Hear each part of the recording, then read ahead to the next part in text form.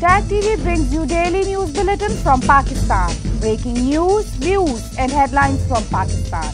Tag TV کے Pakistan studio میں آپ کو کہیں گے خوش آمدید کوئی کے محافظوں نے بہت سی انویسٹمنٹ کر رکھی ہے وہاں آگے وہ لوگ آپ کے لیے ہار لے کے نہیں کھڑے جب تک انشاءاللہ ان کو آزادی نہیں ملے گی ہم ان کے ساتھ کھڑے رہیں گے Do not live in a fool's paradise. بشا Khan, سارا, سنا قادر, کوکب فاروقی, زلفکار, صوبہ Shakeel, take T V Pakistan.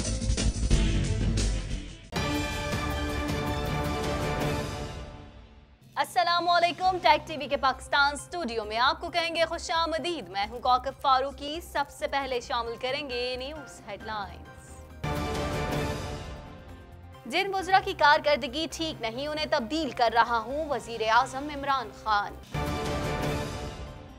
Pakistan کا کرتارپور راہداری کے افتتاح پر منموہن سنگھ کو مدعو کرنے کا فیصلہ۔ قاسم سوری نے الیکشن ٹربیونل کے فیصلے کے خلاف سپریم کورٹ سے رجوع کر لیا۔ کراچی سمیت سندھ بھر میں پلاسٹک بیکس پر پابندی آئیت دوسرے ون ڈے میں پاکستان نے سری لنکا کو سڑسٹھ رن سے شکست دے دی۔ بلٹن میں شامل کریں گے بلڈ پریشر معمول پر رکھنے والی غذاؤں سے متعلق معلوماتی رپورٹ۔ ہیڈ لائنز آپ نے جوانی خبروں کی تفصیل شامل کریں گے اس نیوز بریک کے بعد۔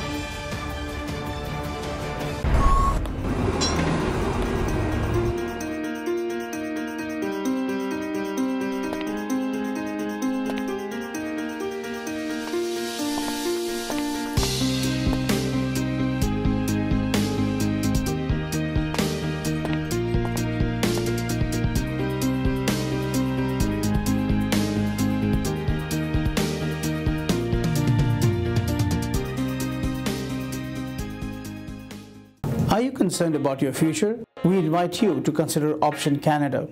I'm a former Canadian immigration officer and a senior case analyst and have served the Canadian government for 16 years. I provide accurate assessment on every case and I'll be happy to assist you in making Canada your home. For the past 26 years, we have assisted professionals, business people, senior managers, and the self employed worldwide to relocate to Canada.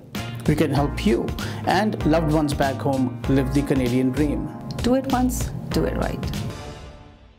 Bulletin میں خوش آمدید۔ Bulletin کے آغاز میں سب سے پہلے بات کریں گے۔ وزیر عمران خان نے وزراء کو عرقین کے شکوے دور کرنے کی ہدایت دیتے ہوئے کہا کہ جن وزراء کی کارکردگی ٹھیک نہیں، انہیں تبدیل کر رہا ہوں اور ارکان کے تحفظات سننے کے لیے خود ملاقاتیں کروں گا۔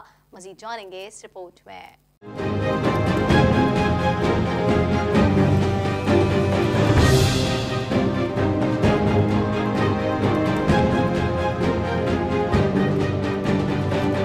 وزیر اعظم عمران خان نے کہا ہے کہ جن وزراء کی کارکردگی ٹھیک نہیں، انہیں تبدیل کر رہا ہوں۔ وزیر اعظم عمران خان کی زیر صدارت پی ٹی آئی کے پارلیمانی پارٹی کا اجلاس ہوا۔ اجلاس میں وزیر اعظم نے دورہ امریکہ پر پارلیمانی پارٹی کو اعتماد میں لیا، جبکہ وزیر خارجہ شاہ محمود قریشی نے مسئلہ کشمیر پر حکومتی سفارتکاری پر بریفنگ دی۔ وزیر اعظم عمران خان کا کہنا تھا کہ مقبوضہ کشمیر میں بھارت بدترین ظلم کر رہا ہے اور ہم کشمیریوں کا مقدمہ ظلم کے خلاف جہاد سمجھ کر لڑ رہے ہیں۔ ذرائع کے مطابق اجلاس میں تحریک انصاف کے ایم این اے ارباب عامر بات کرتے ہوئے آپ دیدہ ہو گئے اور انہوں نے وزیر اعظم سے شکایت کی کہ وزراء ہمیں ملاقات کے لیے وقت بھی نہیں دیتے، جبکہ حلقوں سے عوامی پریشر ہے، لیکن کوئی کام ہو رہے نہ ہی بات سن رہا ہے۔ وزیر اعظم عمران خان نے وزراء کو اراکین کے شکوے دور کرنے کی ہدایت دیتے ہوئے کہا کہ جن وزراء کی کارکردگی ٹھیک نہیں، انہیں تبدیل کر رہا ہوں اور ارکان کے تحفظات سننے کے لیے خود ملاقاتیں کروں گا۔ اجلاس میں پی ٹی آئی کے نور عالم خان کے اسمبلی فلور پر حکومت پر تنقید کا تذکرہ کرتے ہوئے وزیر اعظم کا کہنا تھا کہ گزشتہ ادوار میں جب لوٹ مار ہو رہی تھی، نور عالم اس وقت کیوں نہیں بولے؟ گزشتہ دور کی معاشی پالیسیوں کی وجہ سے ہی ڈالر کا ریٹ اور مہنگائی بڑھی۔ اپنے ایک ویڈیو پیغام میں شاہ محمود قریشی نے کہا کہ کرتارپور راہداری ایک اہم منصوبہ ہے اور وزیر اعظم عمران خان کی اس میں ذاتی دلچسپی ہے۔ چنانچہ پاکستان نے مشاورت کے بعد یہ فیصلہ کیا ہے کہ ہم اس کرتارپور راہداری کی افتتاحی تقریب میں ہندوستان کے سابق وزیر اعظم منموہن سنگھ کو اس میں مدعو کریں گے۔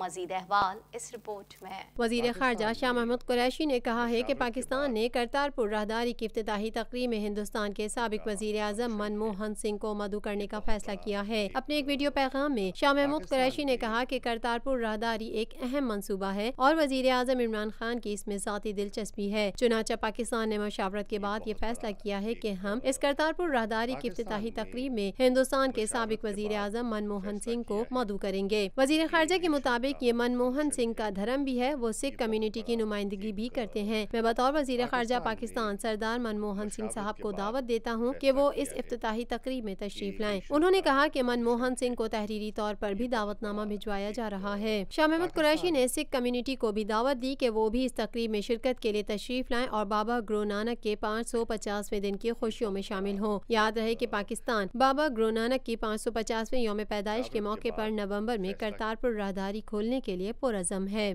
پروگرام ہے۔ ہمیں اس کی بے حد خوشی ہے۔ پاکستان اس کی پوری تیاری کر رہا ہے۔ وزیر اعظم کی اس میں ذاتی دلچسپی ہے۔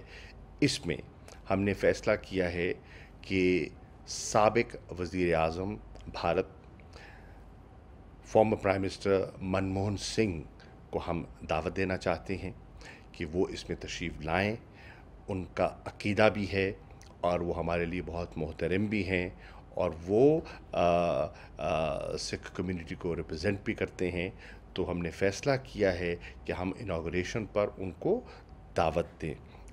تو میں حکومت پاکستان کی طرف سے as far minister of Pakistan ان کو دعوت ایکسٹینڈ کر رہا ہوں۔ انشاءاللہ ان رائٹنگ بھی ہم فارملی بھی ان کو دعوت دینے کا ارادہ رکھتے ہیں۔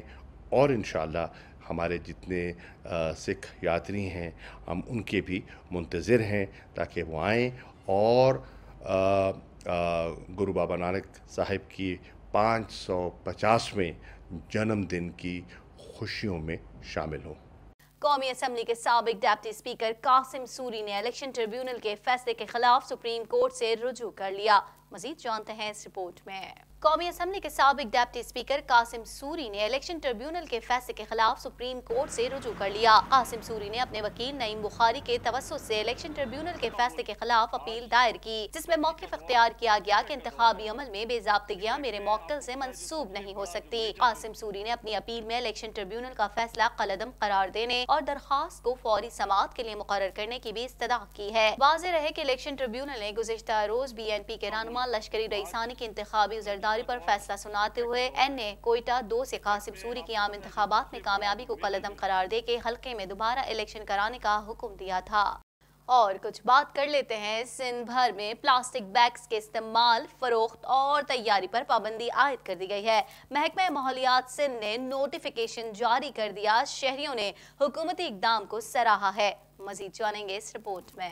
سندھ بھر میں پلاسٹک بیگز کے استعمال، فروخت اور تیاری پر پابندی عائد کر دی گئی ہے۔ محکمہ ماحولیات نے نوٹیفیکیشن جاری کر دیا۔ شہریوں نے حکومتی اقدام کو سراہا ہے۔ حکومت سندھ کی جانب سے سندھ بھر میں پلاسٹک بیگز کے استعمال اور اس کی تیاری پر پابندی کا اطلاق ہو چکا ہے۔ اب ماحولیاتی قوانین کے تحت پلاسٹک بیگز کی تیاری، فروخت اور استعمال قابل سزا جرم ہوگا۔ محکمہ ماحولیات پلاسٹک بیگز کے استعمال کے خلاف قوانین پر عمل کرنے کا پابند ہوگا اور اس سے متعلق قوانین کی خلاف ورزی پر قواعد کے تحت مقدمہ گرفتاری اور سزا ہوگی۔ ہوگی۔ پلاسٹک بیگ کے استعمال فروخت اور تیاری پر عائد پابندی پر عمل درآمد نہ کرنے والوں کے خلاف قانونی کارروائی کی جائے گی، جبکہ شہریوں کی جانب سے اس حکومتی اقدام کو سراہا جا رہا ہے۔ ترجمان حکومت سندھ نے عوام سے اپیل کی ہے کہ وہ کپڑے یا کاغذ کے تھیلے استعمال کریں۔ خاموش قاتل کہلانے والا مرض، بلڈ پریشر، فالج، دل کے امراض اور گردوں کی خرابی کی اہم وجہ بن سکتا ہے۔ قدرت نے کئی غذاؤں میں دوران خون کو درست اور قابو میں رکھنے کے خواص پیدا کیے ہیں۔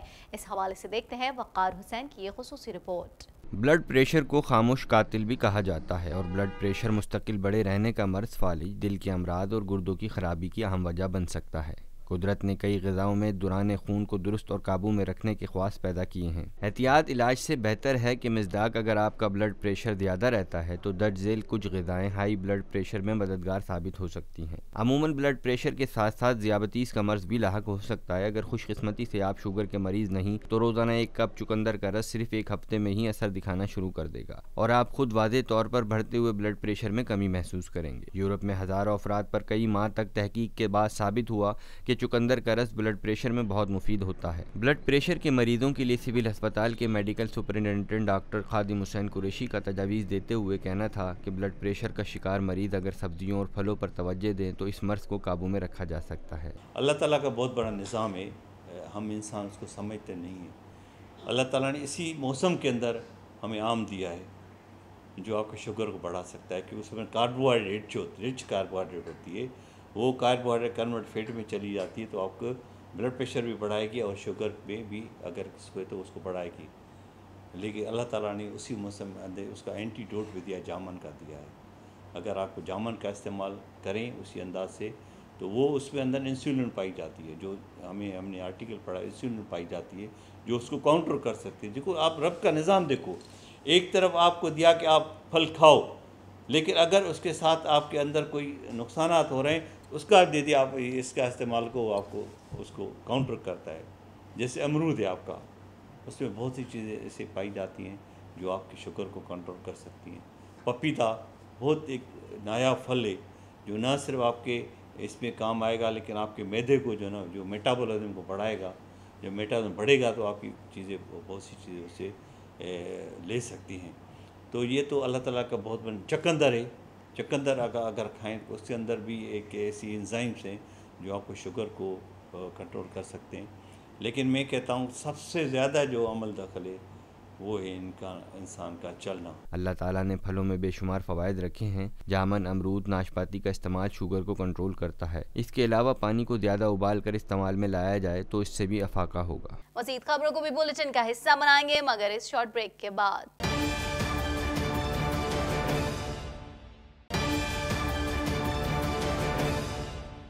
خبر شامل کریں گے کھیل کے میدان سے۔ آپ کو بتائیں دوسرے ون ڈے میں پاکستان نے سری لنکا کو سڑسٹھ رن سے شکست دے کر تین میچوں کی سیریز میں ایک سفر کی برتری حاصل کر لی۔ مزید جانتے ہیں اس رپورٹ میں۔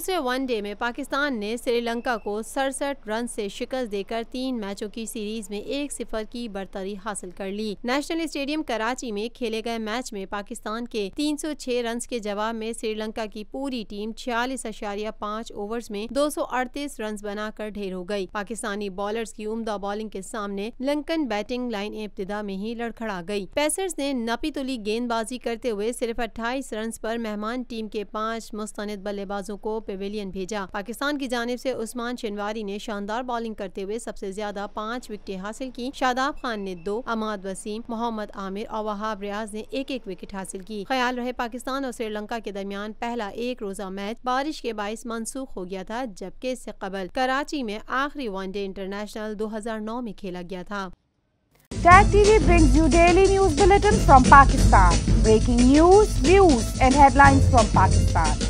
Take T V کے پاکستان اسٹوڈیو میں آپ کو کہیں گے خوش آمدید۔ کوئی امہ کے محافظوں نے بہت سی انویسٹمنٹ کر رکھی ہے وہاں۔ آگے وہ لوگ آپ کے لیے ہار لے کے نہیں کھڑے۔ جب تک انشاءاللہ ان کو آزادی نہیں ملے گی ہم ان کے ساتھ کھڑے رہیں گے۔ Do not leave in fools paradise Bushra Khan Sara Kaukab Farooqi. Zulfiqar Shakeel take T V Pakistan.